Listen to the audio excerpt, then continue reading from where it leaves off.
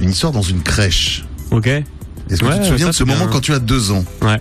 Qu'est-ce qui se passe à deux ans dans cette fameuse crèche de Patton Et je me suis échappé. Jure. Ouais. Alors ça, quand j'ai vu ça, quand, ma- quand mes informateurs m'ont tenu au courant de ça, On m'a perdu. et j'ai vu que en, en fait tu tu t'es barré de la crèche et on t'a retrouvé dans le hall de la fac de Rennes. Ouais. Ouais, Qui- mon, qui était en euh, plus loin, a priori. A priori, c'est pas tout proche. euh, Non, ouais, il y avait plus d'un kilomètre. Donc je sais pas comment j'ai fait. non, mais, parents sont- deux ans. En fait, tu vois, c'était une crèche. Mes parents ils sont venus me chercher et j'étais juste pas là. Spectaculaire. Mais attends, déjà t'es les parents, tu viens chercher ton gosse qui a deux ans. Ah, mais ils ont pété un câble. Ah bah tu m'étonnes que tu pètes un câble. Ah, en fait, ils ont dû faire la- l'appel et ils ont dit, bah, il est pas là. Et du coup, euh, bah, ça a dû fouiller euh, tout le périmètre. Moi je suppose qu'à deux ans t'as aucun souvenir, mais comment t'as Ouais, pu à deux ans te Je sais pas, justement, euh, c'est une anecdote euh, bah, marrante du coup parce que et, en plus te retrouver dans la- direct le mec à la fac. ouais, puis on- mon père il était à la fac en plus à ce moment-là. Mais enfin là, il m'a pas trouvé en tant que en étant tu vois en étant élève, mais euh, Bah, je, me...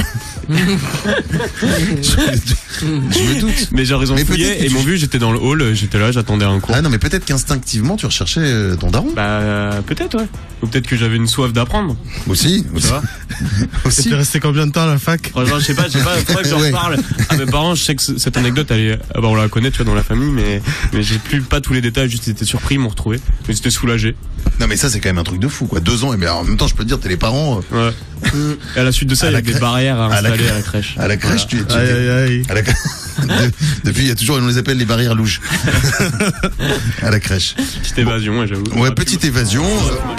Planète Rap.